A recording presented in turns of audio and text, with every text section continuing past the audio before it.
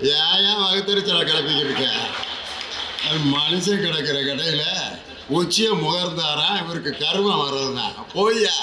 ராசம்மா ஏ ராசம்மா ஜாலில ஜிம்கான்னா. ராவம்மா ஏ ராவம்மா ஜாலில ஜிம்கான்னா. அப்படின்னா மனுஷன்டா. இப்பதான் லியோனி நம்ம ஃபீல்டுக்கு வந்திருக்காருமா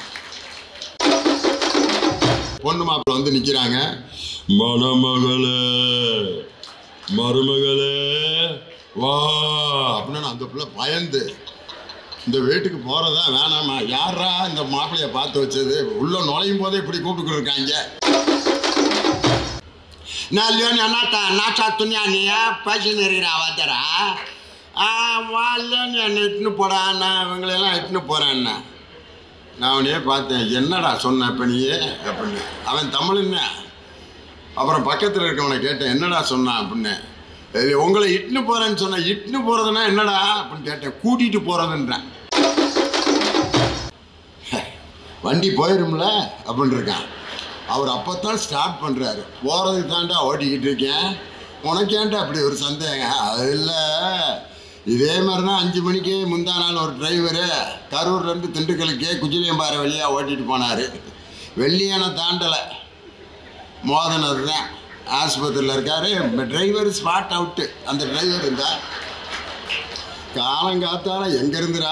உனக்கு ஒன்றும் ஆகாதியா? நீ ஓட்டியா? ஏ ராசாணி யானையில போனாலும் பூனையில போனாலும் முக்கா. எக்கோ பந்தலில பாவக்கா பந்தலில பாவக்கா. கூட இருக்கிற கிளவி போகையில பார்த்துக்கிருவான் போகையில பார்த்துக்கிருவான் வீட்டுக்கார கிளவி நோட் பண்ணிட்டா. இவளுக்கு ஒப்பாரி வைக்கல பாவக்காயை கொள்ளையடிக்கிறதுக்கு ரெண்டும் திட்டம் போடுதுன்ட்டு. அந்த கிளவி முக்காட்டுக்குள்ளே பூந்து தொட்டை என்ன வெட்டி போடுவேன் தொட்டை என்ன வெட்டி போடுவேன்? நான் விதைக்கில் விட்டு இருக்கேன் எடுவட்ட சிரிக்கிறா இளவ மட்டும் பாடுகிறியாய் கண்டக்டர் வந்து ஒன்லி கரூர் வேற யாரும் யாரப்படாது குஜிலையும் பாரு. நோ குஜிலையும் பாரு. வெள்ளியனா? ஆ? கரூர் பார்த்துடலாம்டா. கரூருக்கு டிக்கெட் எடுக்கிறேன். வெள்ளியனையில் இறக்கி விட்டுரு. முடியாது. ஒன்லி கரூர் பார்த்தாங்க ரெண்டு வெள்ளியணைக்காரங்க. வெள்ளியணையில் நிற்காது ஆ. வண்டியில் ஏறிட்டாங்க. ஏறி ரெண்டு பேரும் சிக்னல் கொடுக்குறான். மாப்பிள்ள. ஆளுக்கு ஒரு சிகரெட் எடுத்தேன். எது? பாளையம் தாண்டின பிறகு குஜிலியம்பாறை தாண்டினோன்னு அடிச்சுக்கிட்டு இருக்கேன். கண்டக்டர் டேய் பஸ்ஸில் தம் அடிக்கப்படாது. என்ன எழுதி போட்டிருக்கேன் பார்த்தியா வெள்ளி என நெருங்குது. புகைப்பிடித்தால் ஓட்டுநர் மற்றும் நடத்துனரால் இறக்கிவிடப்படுவீர் வெள்ளி என வந்துருச்சு. இறங்கினா கீழே. இறங்கிட்டாங்க. பார்த்தா இறங்கி விட்டேல. நாங்கள் தான் அந்த வெள்ளியனக்காரங்க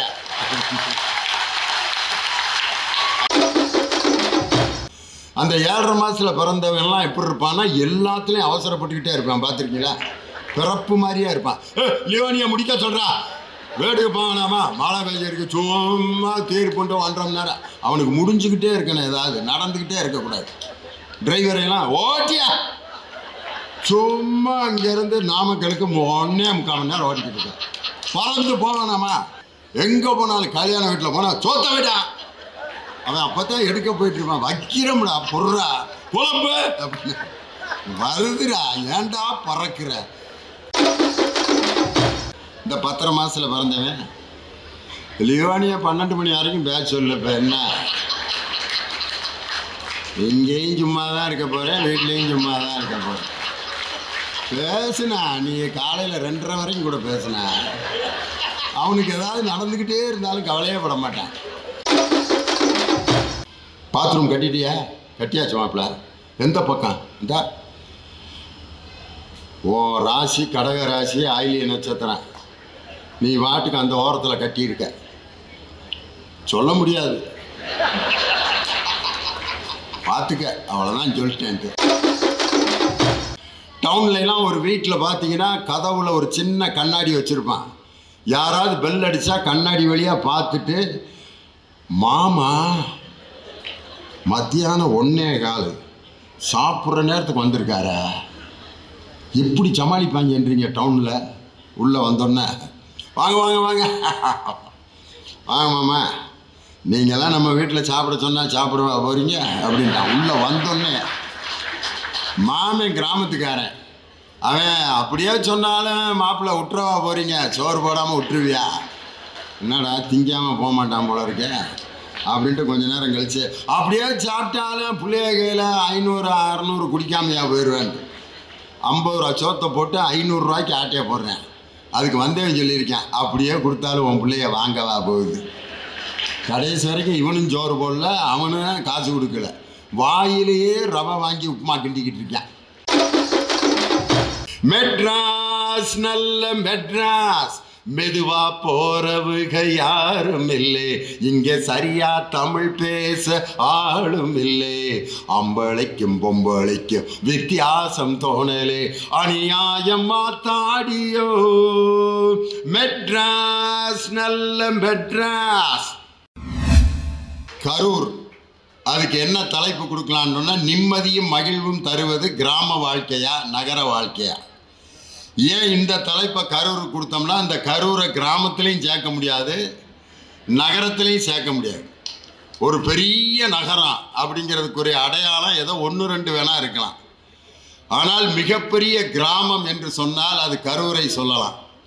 அதனால தான் இந்த தலைப்பை நாங்கள் இங்கே தேர்ந்தெடுத்திருக்கிறோம். இந்த கரூரை பற்றிய வரலாற்று நிகழ்வுகள் நிறைய இருக்கு. அதில் ஒரு முறை பேரறிஞர் அண்ணா ஒரு நிகழ்ச்சியை முடித்து விட்டு ஒரு அறையில் உட்காந்துருக்கார் அப்போ தொண்டர்கள்லாம் அண்ணாட்ட வந்து அண்ணா வணக்கண்ணா நாங்கள் போயிட்டு வரோம்ண்ணா. அண்ணா கேட்குறாரு எந்த ஊர்லேருந்து வந்துருக்கீங்க வந்திருக்கீங்க? அப்படிங்கிறார். நாங்கள்லாம் கரூர்லேருந்து வந்திருக்கோம். அப்படின்னு இருக்காங்க உடனே அண்ணா சொல்லியிருக்காரு எல்லாருமே கரூரில் இருந்து தான் வருவான் அப்படின்னு போன தொண்டர்களுக்கெல்லாம் புரியவே இல்லை. கரூர்காரன் மட்டும்தானடா கரூர்லேருந்து வருவேன். எல்லா தொண்டர்களும் எப்படா கரூர்லேருந்து வருவேன்? அண்ணா எதுக்கு இப்படி சொன்னார்? அப்படின்னு அவங்களுக்கு புரியவே இல்லை. அதுக்கப்புறம் இன்னொரு குரூப் வந்து அண்ணா நாங்கள் போயிட்டு வரோம்னா நீங்கள்லாம் எந்த ஊர்? நாங்கள் மேலூருக்கு போகிறோம்ண்ணா அப்படின்ட்டு இருக்காங்க. அண்ணா சொல்லியிருக்காங்க எல்லா பேரும் ஒரு காலத்தில் மேலூருக்கு போய் தாண்டா அவனுங்களுக்கும் புரியல. மேலூர்காரன் தாண்டா சென்னையில் மாநாடு முடிச்சுட்டு மேலூருக்கு போவான். எல்லாரும் மேலூருக்கு எப்படா வருவான் அப்படின்னு தலையை பிச்சுட்டு இருந்திருக்காங்க. ஆனால் அதுக்கப்புறம் தான் அண்ணா சொன்னதனுடைய உண்மையை போய் யோசித்து தெரிஞ்சிருக்காங்க. மனித சமுதாயம் எல்லாம் கருவூரிலிருந்து தான் வர வேண்டும். அப்படின்னா தாயினுடைய கருவறையான அந்த கரூரிலிருந்து தான் மனிதர்கள் பிறப்பார்கள் அப்படிங்கிறத அண்ணா சொல்லியிருக்காரு. எல்லாரும் செத்த பிறகு மேலூருக்கு தாண்டா போவான். அப்படின்னா மேலூருங்கிறது சொர்க்கத்தை சொல்லியிருக்காரு. அண்ணா வந்து தொண்டர்களிடம் அவர்களுடைய சிந்தனைக்கு எப்படிப்பட்ட கருத்துக்களை கொடுத்துருக்காரு பாருங்க. கவியரசு கண்ணதாசன் ஒரு தடவை பாண்டிச்சேரிக்கு போயிருக்காரு. போயிட்டு அவரும் கூட இன்னொருத்தரும் போயிருக்காங்க. திடீர்னு ரோட்டில் பெரிய ரகலை. பாண்டிச்சேரியிலனா என்ன ரகலை நடக்கும்னு உங்களுக்கே தெரியும். ரோட்டில் ஒருத்தன் தண்ணியை போட்டு இப்படியே படுத்திருக்கேன். ஆ ஓட அப்படின்னு வந்து தம்பி தம்பி எந்திரா எந்திராங்கிறாரு நீ எந்த ஊர்ரா? எந்த ஊரா இருந்த ஊரை சொல்லவா? பிறந்த ஊரை சொல்லவா? வந்த ஊரை சொல்லவா? இல்லை வரப்போகிற ஊரை சொல்லவா? போகிற ஊரை சொல்லவா? அப்படின்னு இருக்கான் கண்ணதாசன் அந்த வார்த்தையை பூரா கேட்டிருக்காரு. அண்ணா சொன்ன அந்த ரெண்டு சம்பவத்தையும் கையில் வச்சுக்கிட்டு இந்த பாண்டிச்சேரியில் மது அருந்தியவர் சொன்ன அந்த வாக்கியத்தையும் கையில் எடுத்துக்கிட்டு காட்டு ரோஜா படத்துக்கு ஒரு பாட்டு எழுத சொல்லியிருக்காங்க. உடனே அண்ணா ஊர் ஊர்னு வர்ற மாதிரியே ஒரு பாட்டு எழுதினார். இது கவியரசு கண்ணதாசன். அது என்ன பாட்டுனா அதில் எந்த இடத்துல கரூர் வருது பாருங்கள் எந்த ஊர் என்றவனே இருந்த ஊரை சொல்லவா? அந்த ஊர் நீயும் கூட அறிந்த ஊர் அல்லவா? உடலூரில் வாழ்ந்திருந்தேன் உறவூரில் மிதந்திருந்தேன் கருவூரில் குடியிருந்தேன் மண்ணூரில் விழுந்து விட்டேன் கையூரில் தவழ்ந்திருந்தேன் கண்ணூரில் கலந்திருந்தேன் காலூரில் நடந்து வந்தேன் காளையூர் வந்து விட்டேன். காளையூர் வந்துட்டாராம் வயசுக்கு வந்துட்டாராம் அதுக்கப்புறம் என்னென்ன ஊரை பார்க்குறாரு பாருங்க. வேலூரை பார்த்து விட்டேன் வெளியூரில் கலந்து விட்டேன் பாலூரும் பருவம் வந்த பட்டினத்தில் குடி புகுந்தேன். லவ் பண்ணியாச்சு. அந்த பிள்ளை ஏமாத்திருச்சு. அதுக்கு என்னென்ன ஊர் பாடுறாரு பாருங்க. காதலூர் காட்டியவள் காட்டூரில் விட்டு விட்டாள். கன்னியூர் மறந்தவுடன் கடலூரில் விழுந்து விட்டேன். பள்ளத்தூர் தன்னில் என்னை பரிதவிக்க விட்டு விட்டு மேட்டூரில் வந்த மங்கை மேலேறி நின்று கொண்டாள். கீழூரில் வாழ்வதற்கும் கிளிமொழியாள் இல்லையடா. மேலூர் போவதற்கும் வேளை வரவில்லையடா. கண்ணாசனுடைய பாட்டு. கருவூரில் பிறந்திருந்தேன் அப்படின்ட்டு மனிதன் பிறக்கக்கூடிய ஊர் கரூர். மேடையில் பேசுறது சாதாரண விஷயம் இல்லை. நீங்கள் நினைக்கலாம் மேடையில் பேசுகிற பேசலாம்ல இப்போ என்ன பெரிய இது பேசுறது பேசுறது பெரிய வேலையா? அப்படின்னு நினைக்கலாம். ஏன்னா வந்திருக்கவங்க எல்லாரும் ஒரே மனநிலையில் இருப்பீங்களா? சில பேர் மனைவி கிட்ட சண்டை போட்டு இங்கே வந்து உட்காந்துருப்பார் உன்னையெல்லாம் வெட்டணும் முடியும் தெரியாம கொண்டு வந்த உடனே எனக்கு சம்சாரம். போடு லியோனி பட்டிமன்றத்துக்கு போயிட்டு வரேன். அந்த கடுப்புல இங்கே வந்து உட்காந்துருப்பார் புதுசாக கல்யாணம் ஆகி மனைவியோடு வந்து உட்காந்துருப்பார் ஆவணி மாதம் கல்யாணம் புக்கான புது மாப்பிள்ள புது பொண்ணு உட்காந்துருப்பாங்க இன்னொரு குரூப் இருக்கும். வாழ்ந்து நொந்து நூலாகி முப்பது நாற்பது வருஷம். ஆகி என்னத்துக்கு வாழ்ந்துக்கிட்டு இருக்கோம்னே தெரியல. பக்கத்தில் தான் ஜம்சாரம் உட்காந்துருக்கேன் என்ன? நான் பேசுகிறாரு கேளு. ஆ நீ என்னத்துக்கு வந்திருக்க? அது ஒரு கோஷ்டி இது மாதிரி இப்போ இளைஞர்கள் வந்திருப்பாங்க. லவ்வுக்கு அப்ளிகேஷன் போட்டு இன்னும் பதில் கிடைக்காதவன் இருப்பேன். ப்ரொப்போஸ் பண்ணிவிட்டு என்ன ரிசல்ட்டுன்னு தெரியாத குரூப்பு இது லவ் சமாச்சாரம். இன்னும் சில பேர் பார்த்தீங்கன்னா இறைவன் மீது நம்பிக்கை உள்ளவங்க இருப்பீங்க கடவுள் மீது நம்பிக்கை இல்லாதவங்க இருப்பீங்க. நல்ல தாய் தந்தை கிடைத்தவர்கள் இருப்பார்கள். நல்ல தாய் தந்தை கிடைக்காதவர்கள் இருப்பார்கள். நண்பர்களால் ஏமாற்றப்பட்டவர்கள் இருப்பார்கள். நண்பர்களால் வாழ்ந்தவர்கள் இருப்பார்கள். எல்லாம் கலந்தது தான் ஆடியன்ஸ் இவங்க எல்லாரும் ஏற்றுக்கிற மாதிரி பேசுறது எவ்வளோ கஷ்டம் யோசனை பண்ணி பாருங்களேன். நான் இப்போ வந்து பெண்ணை பற்றி பாரதியார் என்ன சொல்லுகிறார் தெரியுமா? உச்சிதனை முகர்ந்தால் கர்வம் ஓங்கி வளருதடி. ஒரு பெண்ணின் உச்சியை முகரும் போது கர்வம் பிறக்கிறது அப்படின்னா அந்த மனைவிட்ட சண்டை போட்டு வந்தவன் என்ன நினைப்பேன்? ஏன் ஏன் வகுத்தறிச்சலை கிளப்பிக்கிட்டு இருக்க? மனுஷன் கிடக்கிற கடையில் உச்சியை முகர்ந்தாராம் இவருக்கு கர்வம் வர்றதுதான் போய்யா. காற்று வெளியிடை கண்ணம்மா அப்படின்னு பாரதியார் அவர் உழப்புள்ள பாடியிருப்பாரு. என் பொண்டாட்டி அந்த ஆள் கட்டி வச்சிருந்தா தெரிஞ்சிருக்கேன். காற்று வெளியீடை பாடியிருப்பார் அந்த ஆள்? அப்படின்ட்டு அவன் அவனை திருப்திப்படுத்தவே முடியாது. அவனுக்கு என்ன பாட்டு பிடி பாடினா பிடிக்கும்? கடவுள் மனிதனாக பிறக்க வேண்டும். அப்படின்னா ஆகா அண்ணே பின்னிட்டனே அப்படிமா அவனுக்கு தகுந்த மாதிரி இப்போ மேட்ரை கொண்டு போனாட்டேன் இந்த சின்ன பையன் உட்காந்துருக்கான் பாருங்க. என்ன அழகா. இவன்லாம் வந்து பட்டிமன்றம் கேட்க வருமான்னு நான்லாம் கனவுல கூட நினைக்கிறேன் அங்கே எல்லாம் அவங்க அம்மா மடியில் பக்கத்தில் எல்லாம் செ செட் செட்டாக உட்காந்துருக்காங்க ஆஸ்பத்திரியில் பிறந்து அப்படியே டவுசர் போட்டு வந்திருக்கேன். இன்னைக்கு நான் சொல்கிறேன் இவன் புத்தக திருவிழாவுக்கு பட்டிமன்றம் கேட்க வந்திருக்கும் வரை அறிவுக்கு அழிவே இல்லை அப்படிங்கிறதுக்கு இவன் தான் எடுத்துக்க உட்காந்துருக்கான் பாருங்க. சந்தோஷமா கை தட்டினான். அவனுக்கு லியோனி என்ன பேசுவாருன்னு தெரியும். வெறும் பழைய பாட்டாக பாடிக்கிட்டு இருப்பாரு. எங்கள் அப்பா எங்கள் தாத்தா பாட்டிலாம் கை தட்டிட்டு வாய வான்னு கேட்டுக்கிட்டு இருப்பாங்க. நல்ல மனுஷனா அப்படின்னு. இவனுக்கு வந்து எப்படி மா பாட்டு பாடினா? அவனுக்கு பிடிச்ச மாதிரி பாடணும்.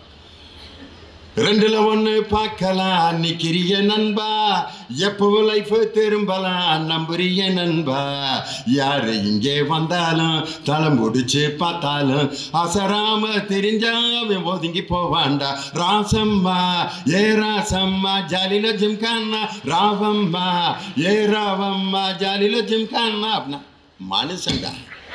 இப்பதான் லியோனி நம்ம ஃபீல்டுக்கு வந்திருக்காருமா இதெல்லாம் எதுக்கு பாடுறேன்னா அவனை உட்கார வைக்கணும்.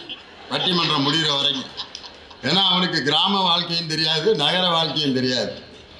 ஒரு வாழ்க்கை நிம்மதியும் மகிழ்வும் எப்போது ஒரு மனிதனுக்கு கிடைக்கும். மகிழ்ச்சிக்கு நிம்மதிக்கு என்ன வித்தியாசம்? ஒரு பள்ளிக்கூடத்தில் இடம் கிடைச்சா அது மகிழ்ச்சி. அவன் நல்ல மார்க் வாங்கி பாஸ் ஆனால் நிம்மதி. ஒரு பொண்ணு நல்ல பொண்ணு லவ் பண்ணுறதுக்கு கிடச்சிச்சின்னா அது மகிழ்ச்சி. அதுவே மனைவியாக வரும்போது நிம்மதி. மனைவி வந்து கர்ப்பமாயிட்டா மகிழ்ச்சி. அந்த மனைவி நல்ல குழந்தையை பெற்றெடுத்தால் நிம்மதி. இதுதான் மகிழ்ச்சிக்கும் நிம்மதிக்கும் உள்ள வித்தியாசம். ஒரு மகிழ்ச்சி நிரந்தரமாக கொஞ்ச நேரம் நீடிக்குது பார்த்தீங்களா? அதுதான் நிம்மதி. இது ரெண்டும் எங்கே கிடைக்குது? கிராம வாழ்க்கையில் கிடைக்குதா? நகர வாழ்க்கையில் கிடைக்கிறதா? கிராம வாழ்க்கை அப்படின்னா என்ன அர்த்தம்? ஒரு கிராமங்கிறது எப்படி இருக்கும்? பெரும்பாலும் மக்கள் விவசாயத்தில் ஈடுபட்டவர்களாக இருப்பார்கள். எளிமையான ஆடைகளை அணிந்திருப்பார்கள். ஒரு கிராமத்தில் இருக்க டீ கடை எப்படி இருக்கும்னா காலையில் உட்காந்து அவங்க ஆடி பேசிகிட்டு இருப்பான். எந்த டாபிக் பேசுகிறான்னு கண்டே பிடிக்க முடியாது. கிராமத்தில் ஒரு வட்டமாக ஒரு திண்ணம் இருக்கும் எல்லா கிராமத்துலேயும். அதுக்கு என்ன பேருன்னா சாவடின்னு பேர். அதுக்கு ஏன் சாவடின்னு பேர் வச்சான்னா காலையில் பத்து பேர் உட்காந்து பேசியே பல பேரை சாவடிக்கிற இடம் அதுதான் மற்றவனை பற்றியே பேசுவாங்க. சம்மந்தம் இல்லாமல் பேசுவான்.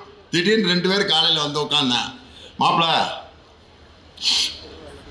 வாழ்க்கையில் ஒன்றுமே உருப்புள்ள மாப்பிள. சொல்லுமாம்மா ஏன்? என்ன செய்ய போகிற பேங்க்கில் லோனு தான். லோன் போட்டு ரெண்டு மாடு வாங்குவேன். அப்படியா? நீ என்ன செய்ய போகிற நீயே லோனு அப்புறம் நானும் நானும் லோன் தான். போட்டு என்ன செய்ய போகிற நல்ல நிலமா வந்து வாங்கி நெல் போட போகிறேன்னு இருக்கான். நீ என்னடா செய்வ? நீ நெல் போட்டிருப்பில? அதில் என் மாட்டை விட்டு மேய விடுவேன் இருக்கேன். ஏய் உன் மாடு மேய்ஞ்சிருமா மாட்டை அருவாள் எடுத்து ரெண்டாக வெட்டி வெட்டுறா பார்க்கலாம். டே நீ மேய விட்றா பார்க்கலான்ட்டு ரெண்டு பேரும் கட்டி பிடிச்சி மூஞ்சி மூஞ்சியாக குத்திட்டு இருக்கேன். நம்ம மாவட்ட ஆட்சித்தலைவர் மாதிரி ஒருத்தர் வந்திருக்காரு. ஏன்டா என்னடா? என் மாட்டை வெட்டுவேங்கிறான் ஐயா. ஏன் நெல்லை மேய விடுவேங்கிறேன். எங்கடா மாடு? இன்னும் வாங்கலையான்ருக்கான் எங்கடா நிலம்? இன்னும் வாங்கவே வாங்காத மாட்டுக்கும் வாங்காத நிலத்துக்கும் காலையில் சண்டை போட்டுக்கிட்டு இருப்பேன். இந்த மாதிரி ஒரு சூழ்நிலை கிராமம் இயற்கையோடு கலந்த வாழ்க்கை எளிமையான உணவு எளிமையான மக்கள் அந்த கிராமத்தில் இருக்க வாத்தியார் அவர் ஒரு டைப்பாக இருப்பார். கிராமத்தில் ஒரு வீட்டில் கல்யாணம் நடக்கும் பார்த்துருக்கீங்களா வீட்டில் பந்தல் போட்டு அந்த வீட்டிலே பெஞ்சை போட்டு சாப்பாடு போடுவாங்க. பொண்ணு மாப்பிள்ளை அந்த வீட்டுக்குள்ளே வந்தோன்னே ஒரு பாட்டு போடுவான் பார்த்துருக்கீங்களா நான் சின்ன பிள்ளையா இருந்த காலத்துலேருந்து அந்த பாட்டு தான் பொண்ணு மாப்பிள்ளை வந்து இன்னொன்னா போடுறாடே ஏ போடுறா அப்படின்னு மைக் செட்டுக்காரரு அவசர அவசரமாக அந்த ரெக்கார்ட் பிளேயர் எடுத்து வச்சிருவார். அது நாங்கள் சின்ன பையனாக இருக்கிறப்ப ரெக்கார்டில் மூணு ஸ்பீடு இருக்கும். முப்பத்தி மூணு இருபத்தெட்டு நாற்பத்தஞ்சு அந்த பாட்டு முப்பத்தி மூணில் வைக்க வேண்டிய பாட்டு. ஆனால் அந்த ரெக்கார்டு போடுறவர் பொண்ணு மாப்பிள்ளை வந்து இன்னொன்று பாட்டை போட்டுருவார். மணமகளே மருமகளே வா வா உன் வலது காலை எடுத்து வைத்து வா வா. இந்த பாட்டை எதில் வச்சு விட்டாருன்னா இருபத்தெட்டில் வச்சு விட்டார். முப்பத்தி மூணில் வைக்க வேண்டியதை. பொண்ணு மாப்பிள்ளை வந்து நிற்கிறாங்க மணமகளே மருமகளே வா. அப்படின்னு அந்த பிள்ளை பயந்து இந்த வீட்டுக்கு போகிறதான் வேணாமா? யாரா இந்த மாப்பிள்ளைய பார்த்து வச்சது? உள்ள நுழையும் போதே இப்படி கூப்பிட்டு இருக்காங்க. அவனை டே ஸ்பீடை ஒழுங்கா வைடா. அப்படின்னா நாற்பத்தெட்டில் தள்ளி விட்டேன். மணமகளே மருமகளே வா வா உன் வலது காலை எடுத்து வைத்து வா. பாட்டே வேணாம்டா ஒழுங்கா வைடா. அப்படின்னா முப்பத்தி மூணில் கரெக்டாக வச்சு திருப்பி ஊசி எடுத்து வச்சேன். மணமகளே மருமகளே வா வா. உன் வலது வலது வலது வலது வலது. அங்கேயே நின்றுக்கிடுச்சு அந்த பிள்ளை நான் அப்புறம் வர்றேன் வீட்டுக்கு. நான் ஒரு பதினஞ்சு நாள் கழித்து வர்றேன். உங்களை அந்த ரெக்கார்டு அவசியம் நான் போட சொன்னேன்டா. ஏன்டா அப்படி உசுரை வாங்குறீங்க? அப்படின்ட்டு அந்த பிள்ளை பயந்துருச்சு. ஒரு கிராமத்து மக்கள் ஒரு இடத்துல கூடி அவங்க மகிழ்ச்சியாக இருக்கிற காட்சியை நம்ம பார்த்துருப்போம். பெரும்பாலும் ட்ரெயினில் பார்த்தீங்கன்னா அந்த தேர்ட் கிளாஸில் கிராமத்து மக்கள் தான் உட்காந்து வருவாங்க. படக்குன்னு ட்ரெயினில் ஏறினோடனே டக்குன்னு சாப்பாட்டு பொட்டலத்தை பிரிப்பேன். நான் ஏத்தாப்பில் உட்காந்துருவேன் எங்கேயோ பார்த்த மாதிரி இருக்கு. மதுரை? ஆமாம் நானும் மதுரை தான். மதுரையில்? இதே ஏரியா. ஆ அப்படியா சிம்மக்கல்லா நீங்கள் நான் யானைக்கல் யானைக்கல் சிம்மக்கல் பயத்தில் பயத்தில் தானப்பா. சரி சாப்பிடுவான். அப்படின்ட்டு அவன் புளிச்சோறு இவன் எலுமிச்சம்பள சோறு. எலுமிச்சம்பள சோறு அங்கே போகும் புளிச்சோறு இங்கே வரும். ஊறுகாய் அது இதெல்லாம் மாற்றி சாப்பிட்டுக்கிட்டு பேசி பிள்ளைகளோட சிரித்து உருண்டு சென்னையில் போய் இறங்குவேன். இந்த ஃபஸ்ட் கிளாஸ் ஏசின்னு ஒரு கம்பார்ட்மெண்ட் இருக்கு. அங்கே உட்காந்து வர்றவங்கள பார்த்துருக்கீங்களா? பக்கத்தில் பக்கத்தில் தான் உட்காந்துருப்பாங்க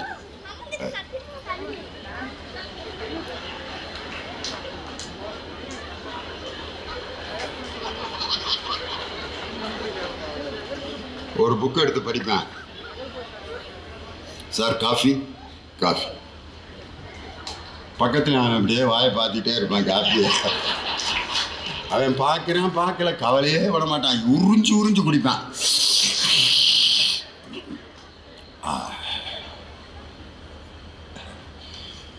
விழுப்புரம் தாண்டினான்.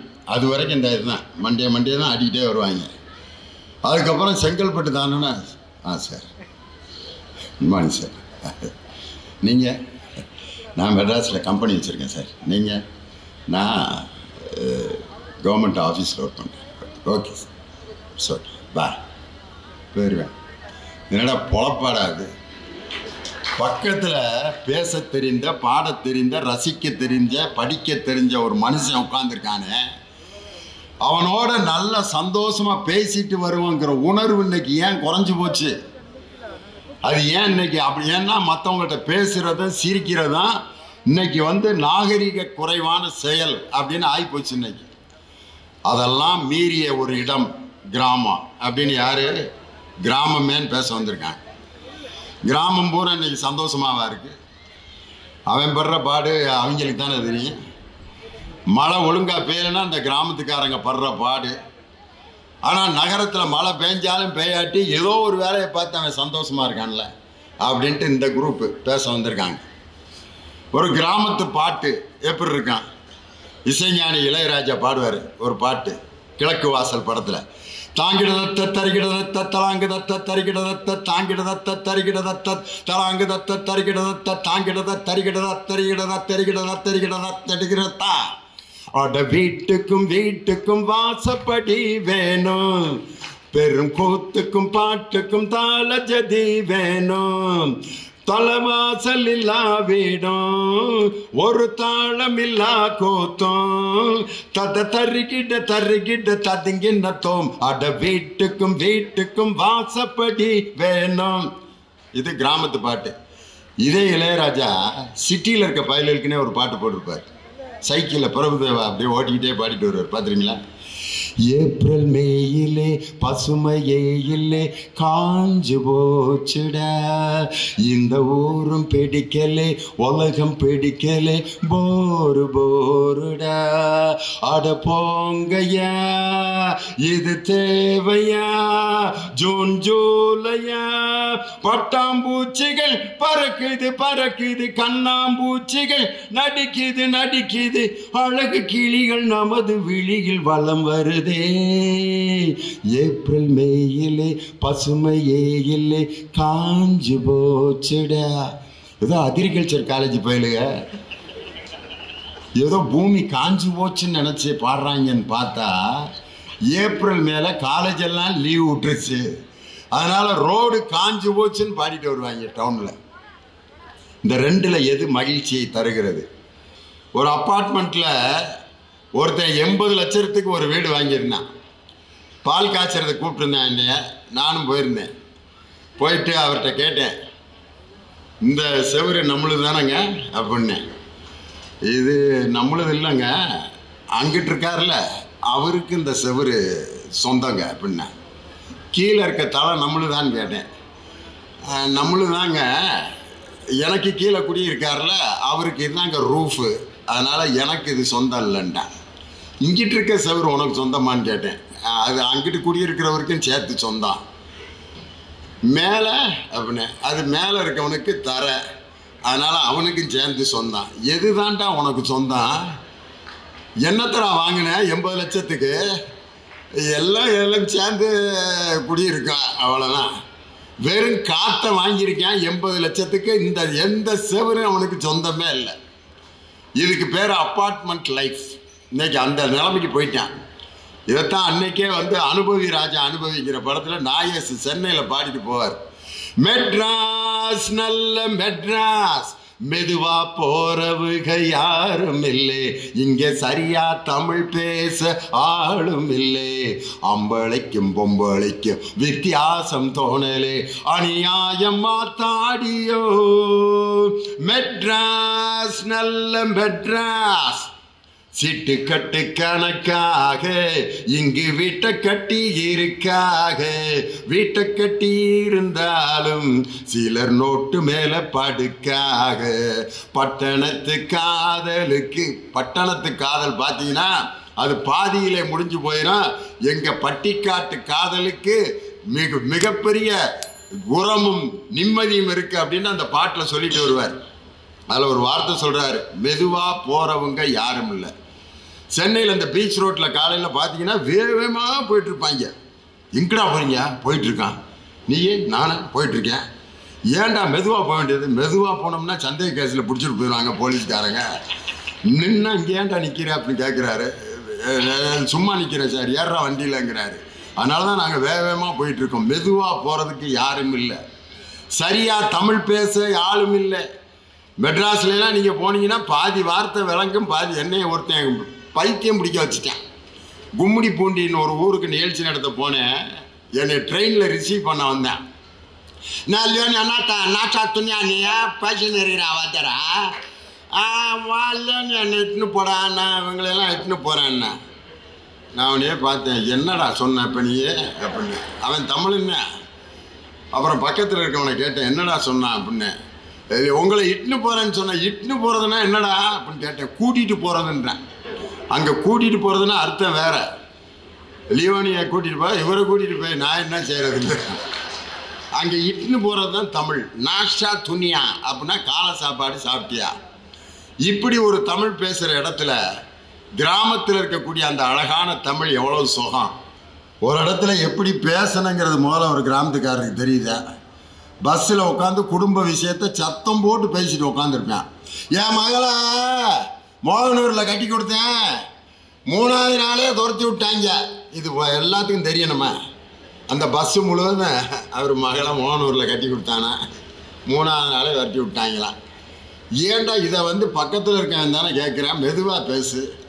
இப்படி தான் ஒருத்தன் மொபைல் ஃபோனை எடுத்துக்கிட்டு எங்கள் ஊருக்கு பக்கத்தில் இருக்க ஒரு கிராமத்தில். ஆ ஆமாப்பா. சொல்லு. ஆ. என் மயந்தேன் ஸ்டேட் பேங்க்லேருந்து வந்துக்கிட்டு இருக்கான். பணம் எடுத்துக்கிட்டு வந்துக்கிட்டு இருக்கான். ஒரு லட்சம். மஞ்சள் பையில். சைக்கிளில் தான் வர்றேன். பைக்கில் வந்தால் தான் பிடிங்கிட்டு போயிடுறாங்கல்ல.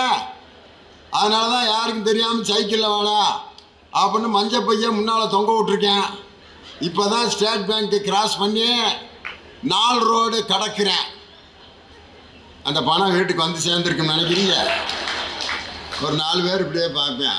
ஸ்டேட் பேங்க்கு மஞ்சள் பொய் சைக்கிளு நாலு ரோட்டை கடக்குறார். கடக்கட்டும்யா? கடக்கட்டும். அப்படின்னு போய் பணத்தை பிடுங்கினது மட்டும் இல்லாமல் மகனையும் போட்டு தள்ளிட்டேன். எதை எங்கே நின்று எதுக்கு சத்தம் போடணும்னு ஏதாவது ஒரு விவஸ்தை இருக்கா? கிராமத்து குரூப்புகளுக்கு பஸ்ஸில் காலையில் அஞ்சரை மணிக்கு ஏறி உட்கார்றாருயா? டிரைவர் அப்போ தான் ஜாமி கும்பிட்டு பஸ்ஸை ஸ்டார்ட் பண்ணுறாரு அவரை பார்த்து சார் முத வண்டி கரூர் டு நாமக்கல் போகுது. கிளம்பி போகிறப்ப பேசாமல் உட்காந்து போவேன் சார் வண்டி போயிரும்ல? அப்படின்னு இருக்கான். அவர் தான் ஸ்டார்ட் பண்ணுறாரு போகிறதுக்கு தாண்டா ஓட்டிக்கிட்டு இருக்கேன். உனக்கேன்ட்டு அப்படி ஒரு சந்தேகம்? அது இல்லை இதே மாதிரி தான் அஞ்சு மணிக்கு முந்தா நாள் ஒரு டிரைவரு கரூர்லேருந்து திண்டுக்கலுக்கே குஜிலியம்பாறை வழியாக ஓட்டிட்டு போனார். வெள்ளியான தாண்டலை மோதனர் தான். ஆஸ்பத்திரியில் இருக்காரு. டிரைவர் ஸ்பாட் அவுட்டு அந்த டிரைவர் இருந்தால் காலங்காத்தால எங்க எங்கேருந்துடா வந்து உனக்கு ஒன்றும் ஆகாதியா? நீ ஓட்டியா? அவருக்கு அப்படியே காலு ஸ்பிரக் எங்கே ஆக்சிலேட்டர் எங்கன்னு தெலாவ ஆரம்பிச்சிட்டாரு. அவர் பாட்டுக்கு ஓட்டிட்டு போறாரு உனக்கு என்ன ஒரு கல்யாண வீட்டுக்கு போனால் சும்மா போ பொண்ணு மாப்பிள்ளைய வாழ்த்திட்டு சாப்பிட்டு வா. செய்ய மாட்டாங்க. பொண்ணுக்கு எம்பிட்டு நகை போட்டிருப்பாங்க நாற்பது? பார்த்தா பூரா கவரிங் மாதிரி தெரியுதுடா.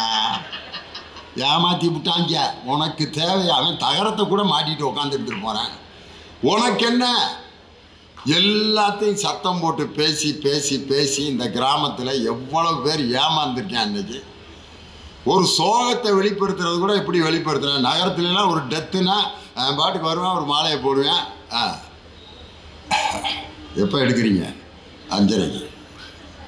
அஞ்சரைக்கு. வர்றேன்ட்டு போகிறேன் தான் எவன் வர்றேன் அஞ்சரைக்கு? ஏன்னா போயிட்டு வரேன்னு சொல்லக்கூடாதுன்னு ஒரு சம்பிரதாயம் வச்சுருப்பேன் அதனால் அப்படியே பார்த்துட்டு ஒரு மாலையை போட்டு போயிட்டே இருப்பாங்க. அவனு டக்குன்னு ஒரு வண்டி எடுப்பான். சல்லுன்னு போகுது மின்மயான உள்ளே கொடுத்தோன்னே அவ்வளோதான் சாம்பல். மடிச்சு இந்திரா உங்கள் பெரியப்பா அப்படிங்கிறேன்.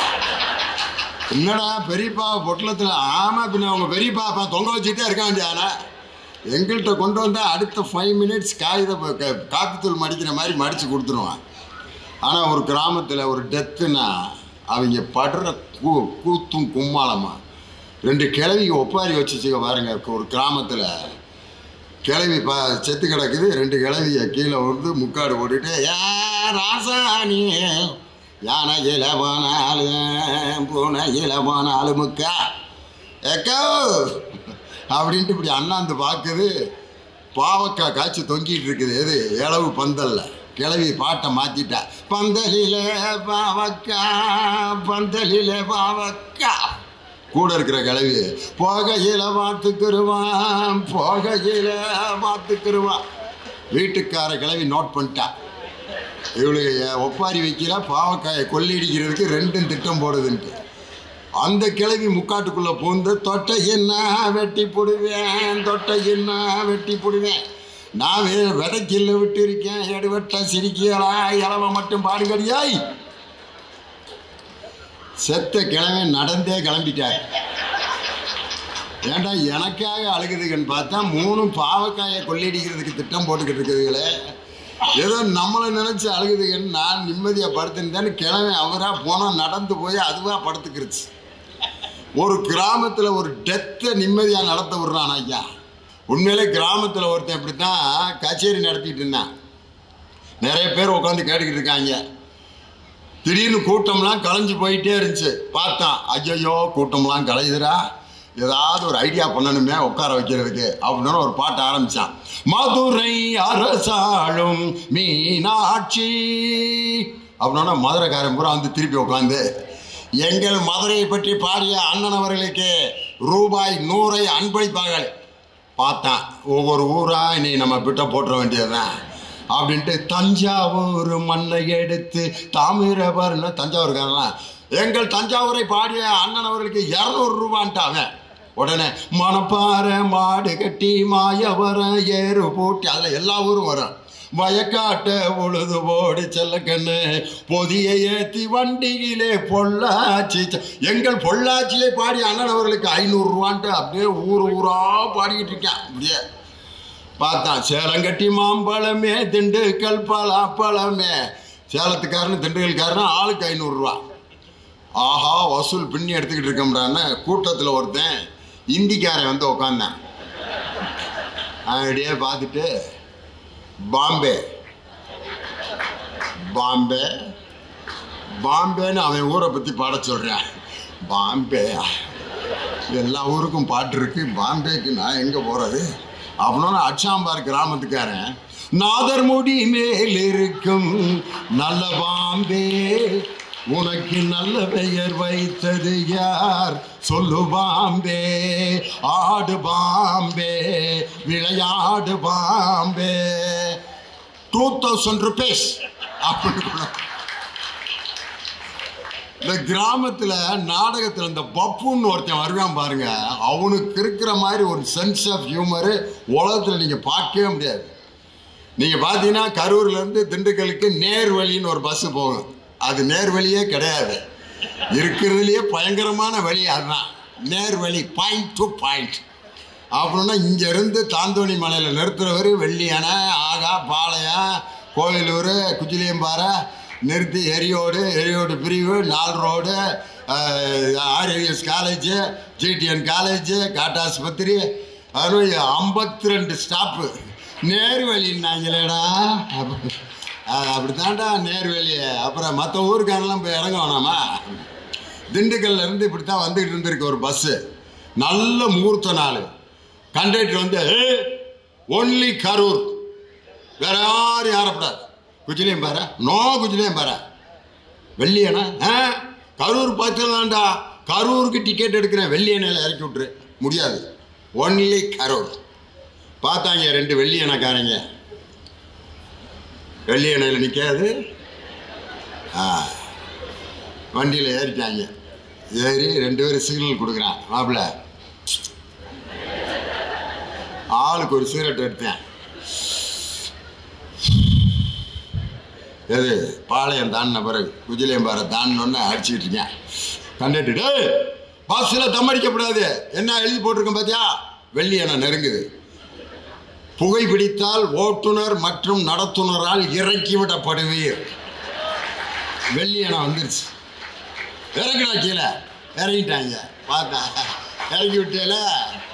நாங்கள் தான் அந்த வெள்ளியனக்காரங்க ஐயோ ஏமாத்தி விட்டாங்களே.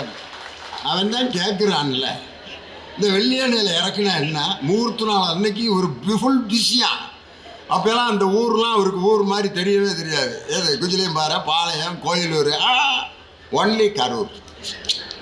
வசூலை பார்க்குறதுக்கு அவர் பண்ணுவார். ஆனால் இவன் இறங்கிட்டான்ல. அது மாதிரி கிராமத்துக்காரனை நம்ம நினைக்கிறோம் ஒன்றும் தெரியாதவங்கன்னா ஆனால் அங்கே பயங்கரமான பிரெயின் அதான் சொன்னார். இந்த நிகழ்ச்சி ஏற்பாடு பண்ண நம்ம கலெக்டர் சார்கிட்ட எவ்வளோ நேரம் பேசுறதுன்னு கேட்கல வந்தோன்னே. எங்கே போனாலும் கேட்டுருவோம் ஐயா நாங்கள் எவ்வளோ நேரம் பேசுறதுன்னு ஒரு ஊரில் கேட்டேன். அந்த ஊர் தலைவர் வந்தார். நீங்கள் எவ்வளோ நேரம் வேணாலும் பேசுங்க இல்லையோனே நாங்கள் காமன் நேரத்துக்கு மேலே உட்காந்துருக்க மாட்டோம். அப்படின்னா அதுக்கு ஏன்டா நீ திண்டுக்கல்லேருந்து கூட்டி வந்தீங்க என்ன? ஊர் முழுவதும் ஸ்பீக்கர் கட்டியிருக்கோம்யா எல்லாம் வீட்டில் படுத்துக்கிட்டே காட்டுக்கு இருப்பாங்க நீ மேடையை போட்டு பேசிட்டு வீட்டுக்கு போ. இவருக்கெல்லாம் வீட்டில் படுத்துக்கிட்டே காட்டுக்கு இருப்பாங்கன்னா நான் வெறும் நாற்காலியை பார்த்து பேசிவிட்டு இவருக்கு கொடுக்குற காசையும் அந்த நினைவு பரிசையும் வாங்கி வீட்டில் சாமி கும்பிட்டுக்கு இருக்கிறதா? மேடையில் கொடுக்கும் நினைவு பரிசும் கவரில் கொடுக்கக்கூடிய பணமும் ஒரு கலைஞனை வாழ வைப்பதில்லை. ரசிகர்களின் சிரிப்பொலியும் கரவொலியும் தான் ஒரு கலைஞனுக்கு மாபெரும் சொத்து. அது இந்த கரூரில் எங்களுக்கு வஞ்சகம் இல்லாமல் கிடச்சிருக்கு. நகர வாழ்க்கை அப்படின்ட்டு என்ன அழகாக பேசுனாங்க. கிராமத்தில் படிக்கலைங்கிறத பெருமையாக சொல்லுது ஒரு அம்மா. நானும் படிக்கல எங்கள் அக்காலும் படிக்கல.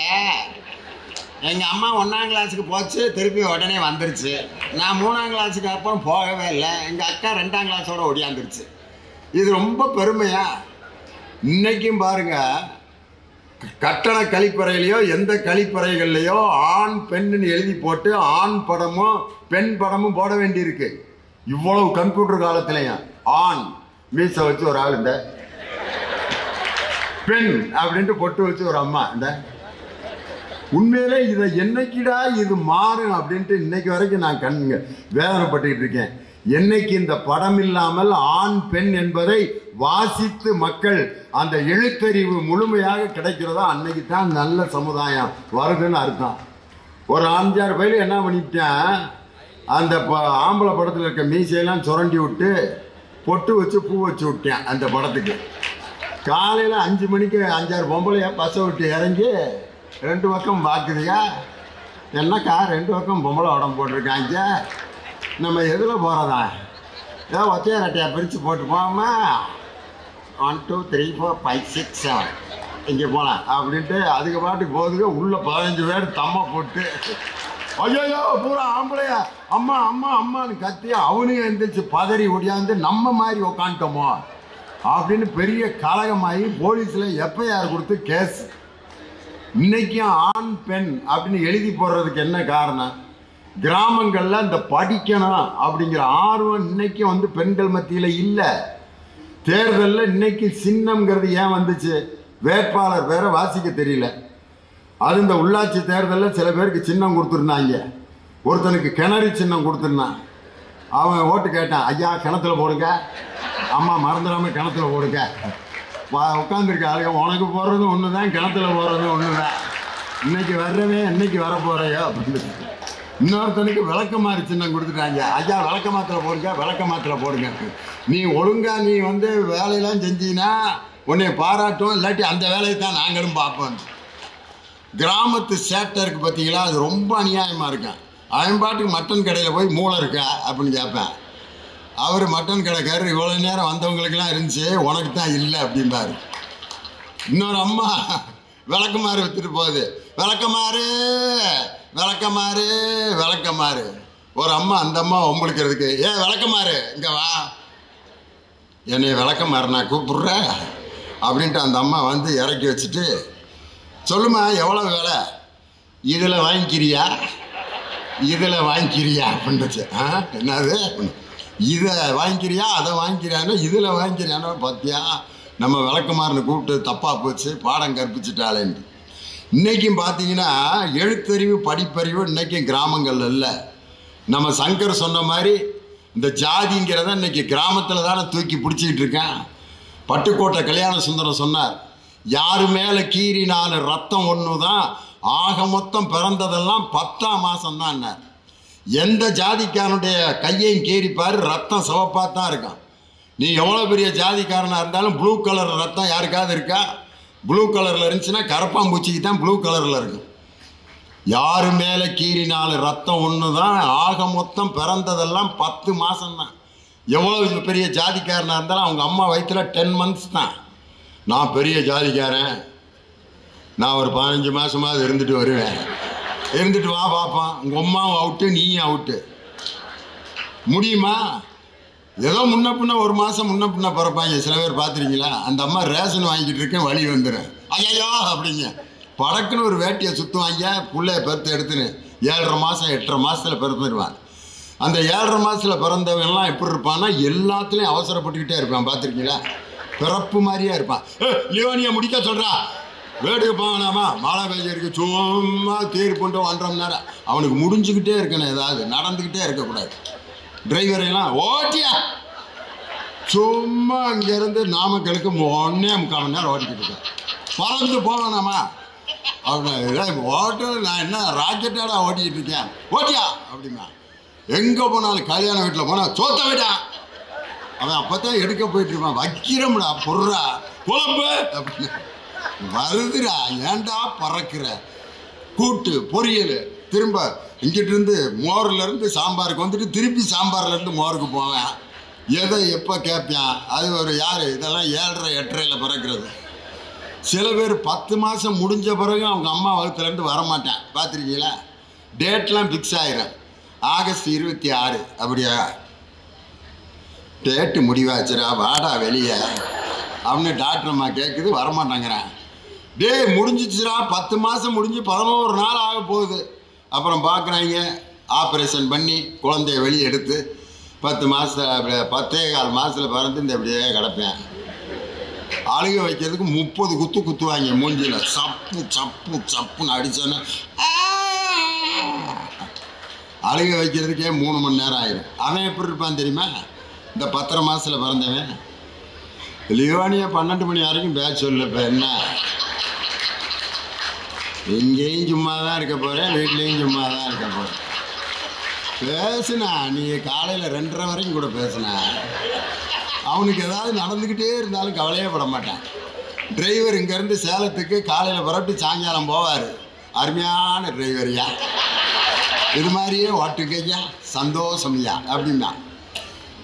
வாழ்க்கையில் இப்படி தான் ஒரு ஏழரை எட்டு மாதம் அல்லது பத்தே கால் மாதம் இப்படி தான் பிறப்பானே ஒழிய மூணு மாதத்தில் பிறந்தவன் கிடையாது. பதினஞ்சு மாதத்தில் பிறந்தவன் கிடையாது. ஆனால் இந்த ஜாதியை இறுக்கி பிடித்து கொண்டு இன்னைக்கு கிராமத்தில் இருக்கக்கூடிய பெரிய தலைவர்களுடைய சிலையெல்லாம் இன்னைக்கு கம்பி வலைக்குள் அவர்கள் அடைந்து கிடக்கிறார்கள் என்று சொன்னால் விடுதலை வாங்கி கொடுத்த தலைவர்களுக்கு இன்னைக்கு கிராமத்தில் விடுதலை இல்லாமல் கம்பி வலைக்குள் அடைபட்டு கிடக்கக்கூடிய அந்த தலைவர்கள் எல்லாம் கண்ணீர் விட்டு அழுகிறாங்க.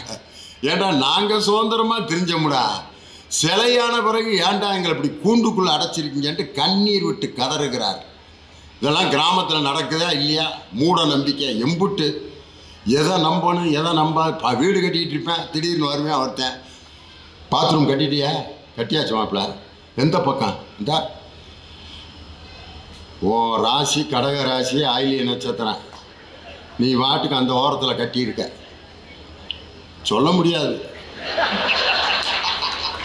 பார்த்துக்க அவ்வளோதான் சொல்லிட்டேன்ட்டு. அவன் எப்படியா அந்த பாத்ரூமில் கட்டுவேன். கட்டி முடித்து ஏழு லட்சத்துக்கு டைல்ஸ் எல்லாம் ஒட்டிட்டான். இப்படி பிட்ட போட்டு போயிட்டேன். அந்த நாய் சொன்னதை கேட்டுட்டு இடிச்சிட்டு வேறு பாத்ரூம் கட்டிக்கிட்டு இருக்காங்க. இன்றைக்கி நான் சொல்கிறேன் பாத்ரூமில் எங்கிட்டு திரும்பி உக்காந்தாலும் எது வரப்போகுதோ அதை தவிர வேறு ஏதாவது வரப்போகுது. கிழக்க திரும்பி உக்காந்தாலும் அதான் மேற்கு நான் இதுக்கு மேலே விவரமாக சொன்னால் அசிங்கமாக போயிடும். அப்பார்ட்மெண்ட்டில் மேலே ஒருத்தன் உட்காந்து போகிறேன் கீழே அவன் பாட்டுக்கு போயிட்டுருக்கேன் எவனாவது அதில் வாஸ்து பார்க்குறோமா ட்ரெயினில் போகிறோமே கழிப்பறை வாஸ்தா அங்கே பார்க்குறோமா அந்த ட்ரெயின் எந்த திசையில் போகுது யாருக்காவது தெரியுமா? அங்கே நம்மளுக்கு மேட்ரு வந்தால் போகிறது இல்லையா வர்றது இல்லையா என்னடா இதில் ஒரு நம்பிக்கையா? ஒரு வீட்டில் நீங்கள் பிரச்சனை உண்டு பண்ணணும்னா வேறு ஒன்றும் வேணாம் ஒரு கிராமத்தில். ஒரு எலுமிச்சம்பளத்தை ரெண்டாக வெட்டி குங்குமத்தை தடவி ஒரு கம்பளி கவுத்தில் சுற்றி காலையில் ஒரு வீட்டுக்குள்ளே உருட்டி விட்டுருங்க. தொலைஞ்சிச்சு அந்த வீடு அவ்வளோதான் மனைவிக்கு வகுறு வலின்னா எலுமிச்சம்பழத்தை உருட்டிட்டான்ல அப்போ வகுறு வலிக்காமல் என்ன எலுமிச்சம்பழத்துக்கு வயிற்று வலிக்கு ஏதாவது சம்மந்தம் இருக்கா? எதை நம்பணும்? நான் சின்ன பிள்ளையா இருக்கும்போது திண்டுக்கல்ல ஒரு புரளியை கிளப்பி விட்டாங்க. தலையில்லாத முண்டம் ராத்திரி பதினோரு மணிக்கு டீ குடிக்க வருதுன்னு. தலையில்லாத முண்டம் வருதுன்னு கூட நம்பு. எப்படா டீ குடிக்க? வாய் இருந்தால் தானே குடிக்க? ஊத்துறானா எப்படி வாங்கி இந்த கழுத்தில் இருக்க ஓட்டையில் அப்படியே ஊத்திக்கிறோமா தலையில்லாத முண்டம் பதினோரு மணிக்கு வந்து டீ குடிக்குதுன்னு நம்பி வீட்டில் எல்லாம் வேப்பங்குலையை கட்டிக்கிட்டு சாமியை காப்பாற்று கத்திக்கிட்டு இருக்கேன். எதை நம்ப வேண்டும் எதை நம்பக்கூடாதுன்னு ஒரு விவஸ்தை இன்னைக்கு கிராமத்தில் இருக்கா அப்படின்னு கேட்டாங்க. அதுக்காக இன்னைக்கு கிராம வாழ்க்கையை நம்ம வந்து குறைச்சி மதிப்பிட முடியுமா? இன்னைக்கு கிராம வாழ்க்கைக்கு நான் வேற எந்த உதாரணமும் சொல்ல இயற்கையோடு கலந்த வாழ்க்கை கிராமத்து வாழ்க்கை. மனது வெள்ளை மனது உள்ளவர்களுடைய வாழ்க்கை கிராமத்து வாழ்க்கை. அப்படின்னு யார்? இவங்க சொல்கிறாங்க டவுன்லலாம் ஒரு வீட்டில் பார்த்தீங்கன்னா கதவுல ஒரு சின்ன கண்ணாடி வச்சுருப்பான். யாராவது பெல் அடித்தா கண்ணாடி வழியாக பார்த்துட்டு மாமா மத்தியானம் ஒன்றே கால். சாப்பிட்ற நேரத்துக்கு வந்திருக்காரா? எப்படி சமாளிப்பாங்கன்றீங்க டவுனில் உள்ளே வந்தோன்னே. வாங்க வாங்க வாங்க. வாங்க மாமா.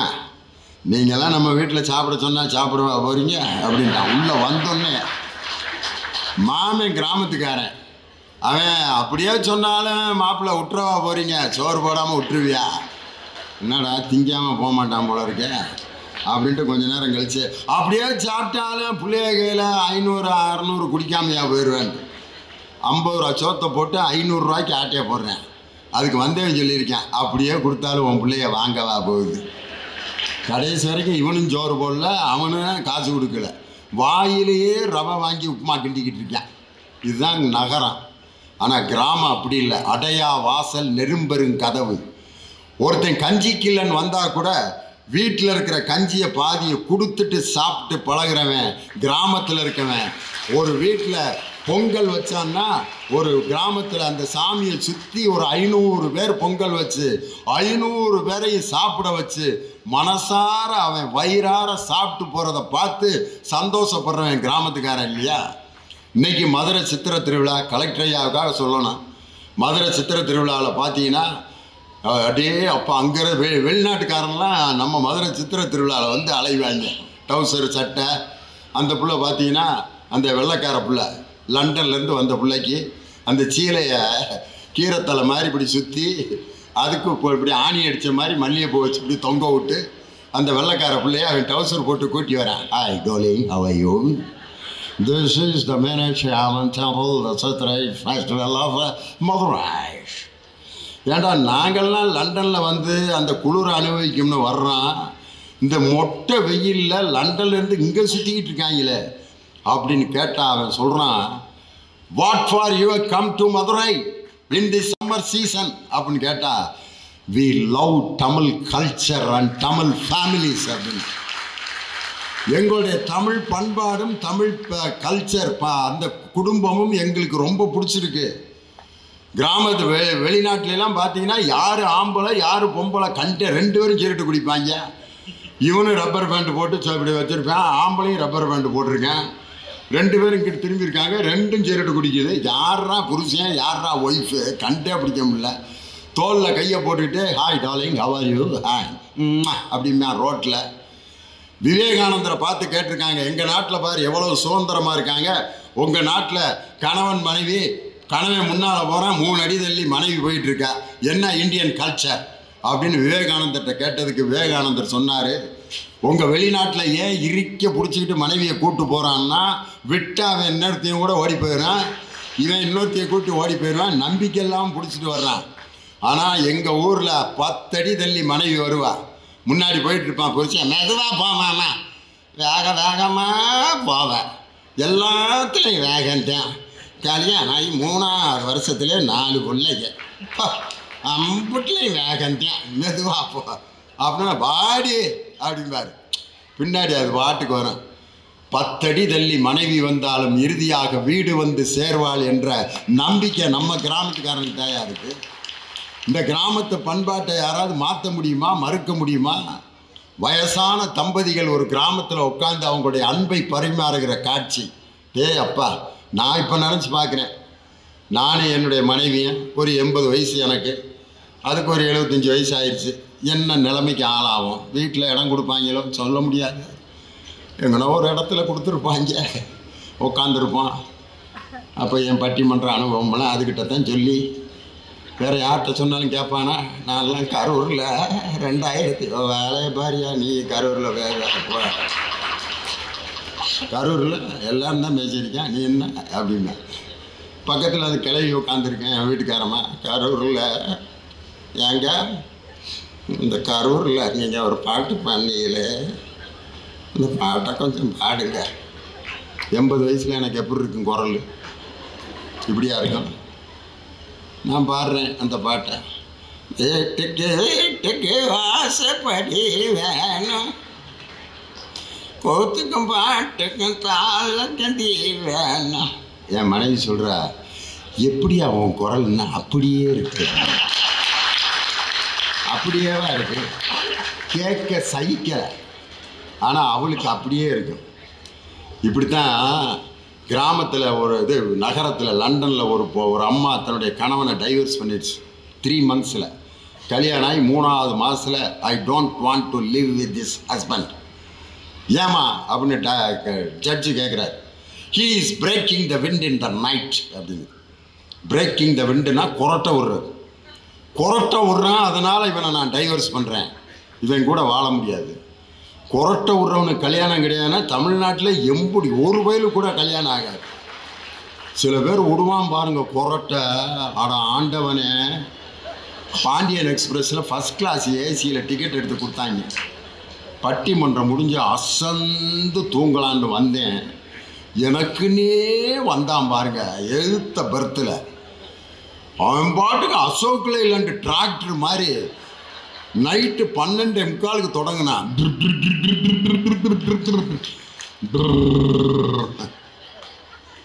எந்திரிச்சு இப்படியே அவனுக்கு வாட்ச்மேன் வேலை தான் பார்த்துக்கிட்டே வந்தேன் மூவாயிரத்து ஐநூறுரூவா கொடுத்து டிக்கெட் எடுத்து கம்பளி கிம்பளிலாம் கொடுத்தாங்க தூங்கலாம்னு வந்தால் இப்படி ஜென்ரேட்டரை ஓட்டிக்கிட்டு இருக்கானே அப்படின்னு பார்த்தா அப்பர் பர்த்தில் ஒருத்தன் டிசைன் டிசைனாக விடுறான் காலையில்.